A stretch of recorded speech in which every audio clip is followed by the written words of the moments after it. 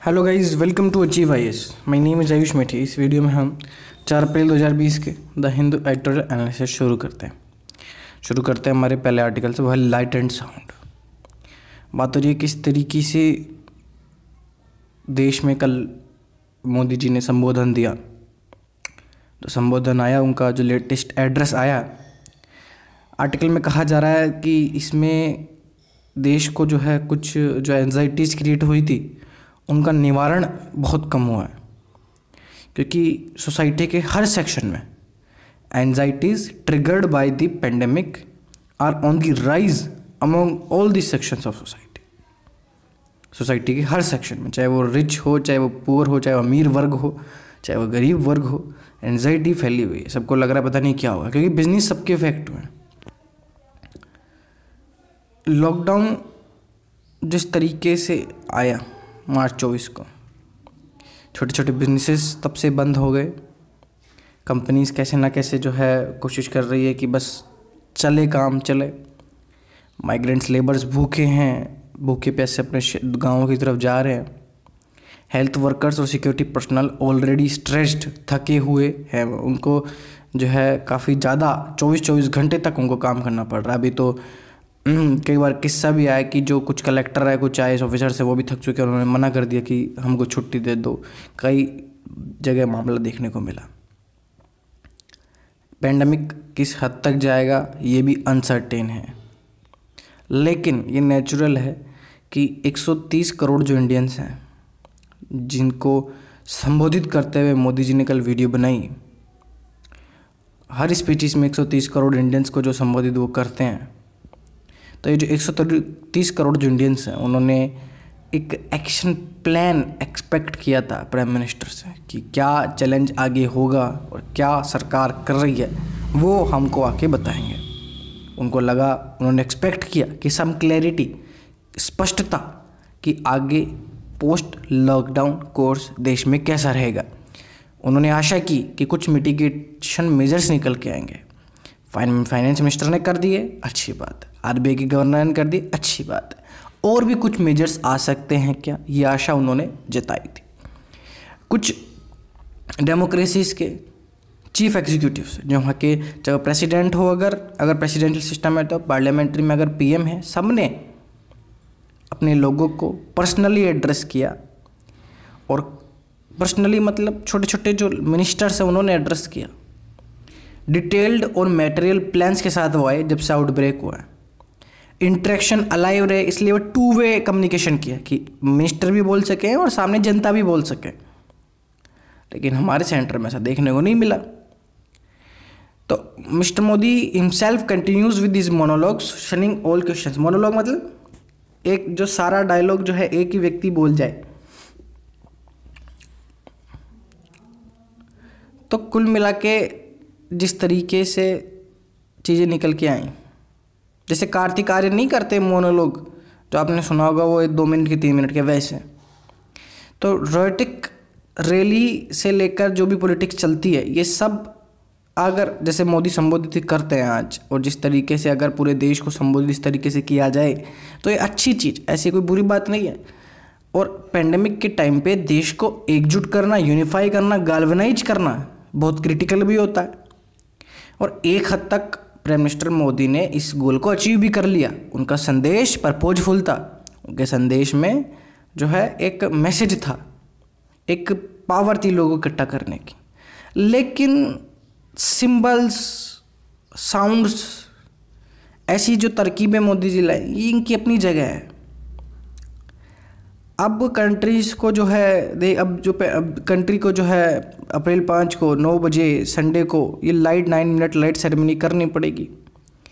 और व्हाट्सअप पे आपने देखा होगा कई तरह के मैसेज ये आर्टिकल में बस यही बोल रहा है कि किस तरीके से व्हाट्सअप पे मैसेज फैलते गए। आपने भी पढ़ा होगा कि नौ बज के नौ मिनट पे जो है ये होगा, वो होगा, इससे जो है वो हो जाएगा और महान जो है काम हो जाएगा। तो तीसरा विश्व युद्ध हम जीत जाएँगे। तो इस तरीके से जो बातें हुई तो सरकार को भी लगा कि ये क्या जनता किस चीज़ में पड़ गई? तो प्रेस इन्फॉर्मेशन ब्यूरो के ज़रिए इन्होंने क्लैरिफिकेशन इशू किया कि don't fall for rumours and unscientific reasoning on the appeal for lighting diya. दिया जो हम जलाने की बात कर रहे हैं, उस अपील में कोई भी अनसाइंटिफिक रीजनिंग किया या कोई र्यूमर फैला रहा है, उसके चक्कर में मत पड़ो। प्राइम मिनिस्टर ने भी पिछले कुछ दिनों से कहा है कि र्यूमर्स के चक्कर में ना पड़े मिस इन्फॉर्मेशन के चक्कर में ना पड़े ट्रस्टेड मीडिया प्लेटफॉर्म्स के भरोसे ही रहे। लेकिन देश तो देश है। लेकिन उनके शब्दों में अब देखो, काफ़ी वज़न रहता है और लोगों ने इनकी बात समझी भी। अब वर्ड्स जो उन्होंने निकाले, कल मुँह से तो कुछ बहुत सारे जो लोग हैं यूनाइट भी हुए, देश पूरा एकजुट भी हुआ। हालाँकि जो नौ अप्रैल को जो होने वाला है, उससे इकोनॉमी जो है, वो ठीक तो नहीं हो जाएगी। लेकिन फिर भी जो है, अगर कुछ और भी मोदी जी एक्शन प्लान ला देते इसके अंदर तो फिर भी जो है, कुछ लगता कि हाँ सरकार जो है, करने जा रही एम मिलियन एंड काउंटिंग बात हो रही है किस तरीके से वन मिलियन के पार जो है केसेस बढ़ चुके हैं। अब केसेस के बारे में आपको तरह तरह की वीडियोस बताने वाली आ गई होगी। तो मैं जो है आपको इस केस कितने केस हुए, कितना डाटा है, ये बता के आपको एनजाइटी स्ट्रेस नहीं देना चाहता। The spectre of post covid world ये देखने से पहले मैं आपको बता दूँ only through prism of science से बात हो रही है किस तरीके से जो है अपने जो लीडर्स हैं सिंस टू थाउज़ेंड फोर्टीन अंधविश्वास पे बेस बातें करते थे।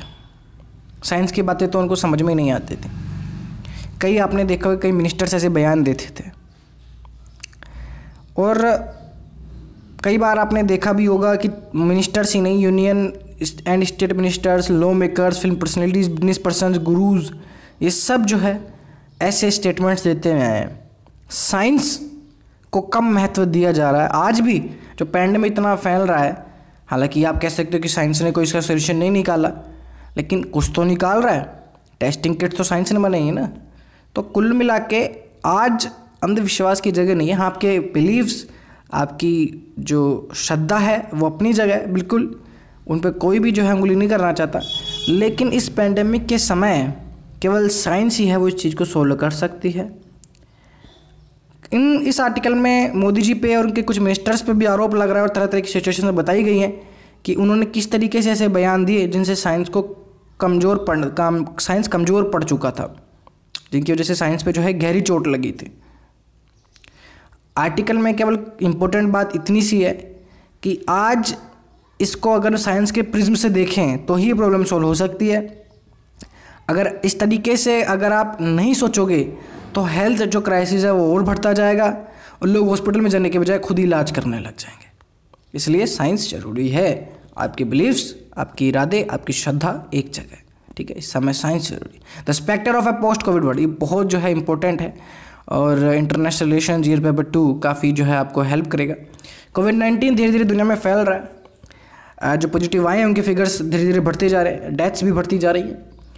अनसर्टेनिटी वोलेटिलिटी बढ़ती जा रही है।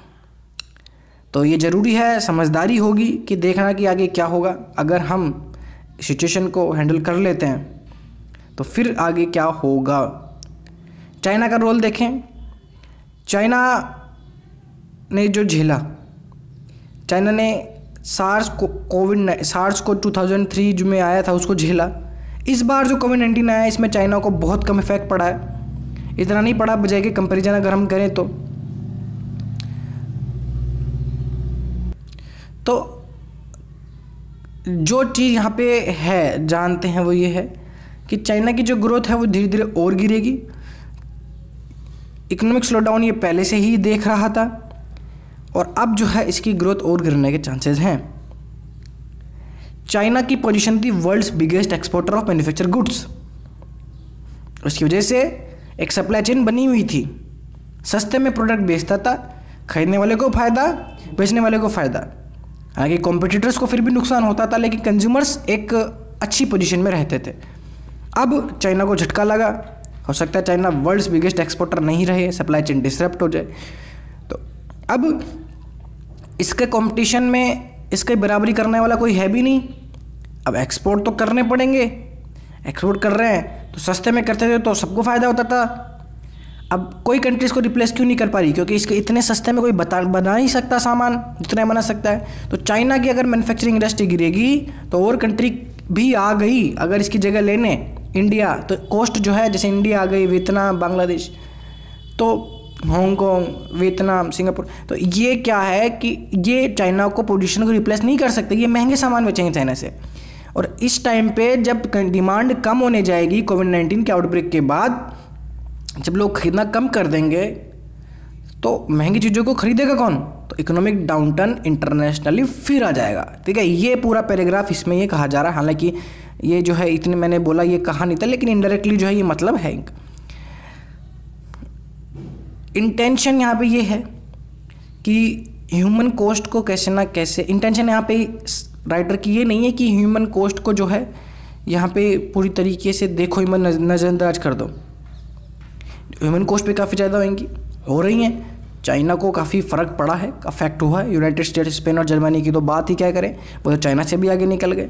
कुछ कंट्रीज़ जो हैं, सीरियस इस प्रॉब्लम से जूझ रही हैं और कुछ भी रेमेडीज़ अवेलेबल है तो ह्यूमन कास्ट फिर भी जो है बढ़ रही है। टेस्टिंग भी है किट्स भी हैं वैक्सीन बन भी रही हैं, लेकिन फिर भी ह्यूमन कॉस्ट बढ़ रही हैं।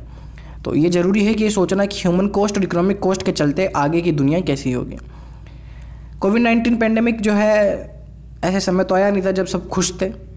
डिफ़िकल्ट समय सबका चल रहा था। और, दुनिया पहले से ही जो है अनसर्टेन इकोनॉमिक इन्वायरमेंट से जूझ रही थी। Climate change economic slowdown trade war ये सब हो रहा था। इंडस्ट्रीज़ पहले से चैलेंज फेस कर रही थी। इंडस्ट्रीज़ बस इनोवेशन करने जा रही थी इम्प्रूवमेंट कर रही थी, क्योंकि आने वाले समय में इम्प्रूवमेंट करना ज़रूरी है और टाइम पे ऐसा झटका लगना तो अब इम्प्रूवमेंट के उनके चांसेस कम ही रहेंगे। इसको भी और भी चीज़ें ऐड करें तो global slowdown global slowdown जो है, वो आ सकता है। पॉलिटिकल और पॉलिसी अनसर्टेनिटीज़ बढ़ सकती है।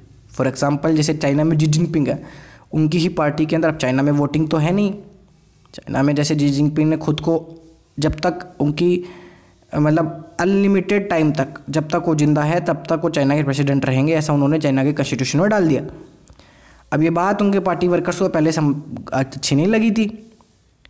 अब कोविड नाइन्टीन के बाद और भी उनके मज़बूत हो गए अपोजिशन पर अपोजिशन मेंबर्स जो पार्टी में ही जो अपोजिशन है उनकी। तो अब उनकी जो है प्रेसिडेंसी पे काफ़ी ज़्यादा सवाल उठ रहे हैं। और हो सकता है कि इनका जो है, ये प्रेसिडेंट पद पे ना भी रहें या फिर जो है इन पर सीरियस सवाल उठें। पॉलिटिकल अनसर्टेनिटी बढ़ रही। अब आप लोग कुछ लोग खुश होंगे कि बढ़िया है, ऐसे जी जिनपिंग जो प्रेसिडेंट है वो नहीं रहे। लेकिन देखो, कभी भी पॉलिटिकल अनसर्टेनिटी आती है तो देश कुछ सालों तक जब तक अनसर्टेनिटी है, तब तक बड़े इन्वेस्टमेंट नहीं करता। इकोनॉमी में ध्यान कैसे देगा? क्योंकि पावर जो है वो पॉलिटिक्स बचाने में लग जाती है। जो रूलिंग पार्टी है, वो पॉलिटिक्स बचाने में लग जाती है, ना कि इकोनॉमी में ध्यान देती है। अगर उसको पता है कि दस साल हम रहेंगे तो वो अपोजिशन को छोड़ के, चाहे कुछ भी बोले इकोनॉमी पर ध्यान देंगी डेवलपमेंट पर ध्यान देंगी। और कोविड नाइन्टीन के बाद ऐसे ही जो है, काफ़ी समय बड़ा जिसमें आएगा, जिसमें काफ़ी ज़्यादा इन्वेस्टमेंट लगाने की कोशिश होगी, जिसमें सबको साथ आना पड़ेगा। ऐसे समय पर चाइना की बहुत इंपॉर्टेंस होगी, और उस समय अगर पोलिटिकल अनसर्टिनिटी चाइना में चलेंगी तो फिर जो है पूरी दुनिया को दिक्कत होगी नई नई इमर्जिंग इकोनॉमीज़ जैसे कि इंडिया उनको भी काफ़ी ज़्यादा अफेक्ट हुआ है। और जो ओल्डर हैं उनको भी, उन, उनसे तो ज़्यादा जो है इफ़ेक्ट होने के चांसेस है। मतलब इमर्जिंग इकोनॉमीज़ को भी हुआ इफ़ेक्ट और ओल्डर एस्टेब्लिश वंस को भी इफ़ेक्ट हुआ है। इंडिया की बात करें तो कहा गया था शुरू में कि इंडिया जो है top fifteen most affected economies में आएगा। और धीरे धीरे जो है पेंडेमिक वैसे ध्यान नहीं दिया हमने, लेकिन फिर हमने एक साथ जो इस पर ध्यान दिया। एशियन डेवलपमेंट बैंक का तो एस्टिमेट है कि हमको 29 बिलियन का नुकसान होएगा। कुछ इंडस्ट्री बता रही है 121 बिलियन डॉलर्स का होएगा, जो कि इंडिया की जीडीपी का चार परसेंट है। तो अलग अलग एस्टिमेट्स हैं अलग अलग इंडस्ट्रीज़ हैं, और कहीं जा रही है कि छः महीने हमको लगेंगे। कहीं ना कहीं अपने को रिवाइव करने में नॉर्मली सी लाने में मतलब कोविड नाइन्टीन मान लो ख़त्म भी हो गया तो छः महीने लगेंगे हमको पूरी तरीके से वापस आने में। तो एस्टिमेशंस हैं, इनको ये बढ़ भी सकते हैं, कम भी हो सकते हैं। तो इंडिया बेशक स्पीड में काम किया, जैसे पेंडेमिक आया पेंडेमिक घोषित हुई लॉकडाउन हमने कर दिया, मोदी जी ने सीरियस ग्लोबल क्राइसिस इसको बताया, और दो नेशनल ब्रॉडकास्ट दिए, कल तीसरा आया था। इसके बाद जो है इन्होंने कर, जनता कर्फ्यू लगा दिया सोशल डिस्टेंसिंग इन्होंने की कोविड नाइन्टीन टास्क फोर्स इन्होंने जो है की फाइनेंस मिनिस्टर के अंडर ठीक है, ये सब हुआ, हमने ये सब स्टेप्स लिए। और पेंडेमिक जो है वो बढ़ता जा रहा है और इकोनॉमिक इम्पैक्ट कम से कम पड़ रहा है। इसके लिए टैक्स टास्क फोर्स भी अनाउंस की गई थी। थ्री वीक का लॉन्ग लॉकडाउन है। कुछ प्रिकॉशनरी मेजर्स जो हैं वो भी अनाउंस कर दिए गए हैं और कुछ जो है वो चल रहे हैं। जैसे होम आइसोलेशन होम क्वारंटाइन ये सब जो है पूरी दुनिया में चल रहे हैं। अब आगे क्या है? ये साफ़, स्पष्ट तो है नहीं, लेकिन अनुमान लगाए जा रहे हैं। ग्लोबल रिसेशन जो है आ सकता है। इन्वाइटेबल यानी आने के चांसेस पूरे पूरे हैं। इन्वाइटेबल कोई रोक नहीं सकता। अनसर्टेनिटी पैनिक और लॉकडाउन पॉलिसीज़ हर जगह देखने को मिलेंगी। विशियस डाउनवर्ड साइकिल आएगा। मैं बता देता हूँ आपको। देखो, क्या है कि अब आने वाले टाइम पे फैक्ट्री ज़्यादा ज़्यादा प्रोड्यूस करने की सोचेंगी, क्योंकि जो कम लॉस हुआ उनको, वो भरपाई करने की सोचेंगी। अब कोई भी पेंडेमिक आया, उसके बाद लोग जो है खरीदने की कैसे सोचेंगे? भाई तो मजदूर हैं। देखो, हमारे देश में सबसे पहले रूरल डिमांड की कमी थी। मैं स्टार्टिंग से बोलता जब से एडिटोरियल बना रहा हूँ, जब से अपनी दिक्कत आ रही है इकोनॉमी की। रूरल डिमांड की कमी है। नीचे तबके से जो है, वो कंजप्शन नहीं हो रहा। रूरल कंजप्शन नहीं है। तो पेंडेमिक का असर मजदूरों पर पड़ेगा, मजदूरों से और जगह पड़ेगा, किसानों पर पड़ेगा। किसानों से छोटे छोटे लोगों को पड़ेगा छोटे छोटे बिजनेसमैन को पड़ेगा तो खर्चा नहीं करेंगे। तो डिमांड और प्लम्प हो जाएगी। और डिमांड जैसी अगर थोड़ी सी खिसक गई तो फिर जो है फैक्ट्रीज और कितना प्रोड्यूस कर लेंगी, कोई मतलब नहीं है। तो फैक्ट्री जो है प्रोड्यूस करना बंद कर देंगी, कम करेंगी, नौकरियाँ चल जाएँगी फिर, नौकरियाँ चल जाएँगी क्योंकि क्योंकि वर्कर्स की ज़रूरत नहीं पड़ेगी, इतनी डिमांड नहीं तो एक साइकिल फंस जाएगी इसलिए जो है इसे बाहर निकलना ज़रूरी है, इसलिए फंड लाने ज़रूरी है और फंड भी फंड की मिल लिमिट है। भारत सरकार के पास ऐसा तो नहीं है कि अरबों, करोड़ों, लाखों मतलब बिल्कुल जो है जब तक डिमांड नहीं है तब तक लगाती रहे। सीमित होती है एक फंड की एक्सपेंडिचर कितना कर सकते हैं कैपिटल एक्सपेंडिचर कितना कर सकते हैं। रेवेन्यू एक्सपेंडिचर कितना कर सकता है? तो एक वो होती है, ठीक है? तो कोविड नाइन्टीन जो है, कुछ चेंजेस लाने वाला है ग्लोबल ऑर्डर में, और ये जो है चेंजेस कुछ समय से आ ही रहे हैं, लेकिन बढ़ जाएँगे। जैसे यूएस जो है, उसकी पावर कम होती जा रही थी, अब और भी कम हो जाएगी। चाइना की पावर बढ़ती जा रही थी चाइना की जो है पावर थोड़ी बहुत बढ़ जाएगी, क्योंकि देखो रशिया के साथ इसकी दोस्ती बढ़ रही है। और कभी भी कोई अगर यूएस पावर की यूएस की पावर कम हो रही है तो पावर की स्थान कौन लेगा? वो पावर कोई ना कोई तो उसकी जगह लेगा ही ना। तो चाइना ले सकता है। मैं ऐसे नहीं कह रहा चाइना सुपर पावर एक तरीके से बहुत जो है ग्लोबल ऑर्डर को लीड करेगा, नहीं। चाइना की इमेज क्षतिग्रस्त हुई है और चाइना को जो है काफ़ी साल लग जाएँगे अपनी इमेज बनाने में। लेकिन जो जगह यूएसए के द्वारा छोड़ी गई, वो तो चाइना भर देगा ना। भाई कंट्रीज़ को हमेशा लीडरशिप चाहिए होती है। Iran Iraq Russia European countries तो विदाउट डाउट चाइना यूएसए जो अपने स्थान से गिरता जा रहा है। अफ़गानिस्तान डील के बाद से जो है वो होता जा रहा है। और यूएस जो है उन कंट्रीज़ में से एक है जिनको बैडली इफ़ेक्ट हुआ इस पेंडेमिक से। एग्जिस्टिंग अनसर्टनिटीज़ देखें तो फाइनेंशियल मार्केट्स भी अगर देखें यूएस के तो स्टॉक मार्केट इसके गिरते जा रहे हैं। तो हो सकता है जो है ये अब न्यूट्रलिटी पे आ जाए। न्यूट्रलिटी मतलब कि ना रशिया पे इल्ज़ाम लगाए, ना चाइना पे इल्ज़ाम लगाए, अपने काम से काम करेगा। ठीक है, ये सब होगा।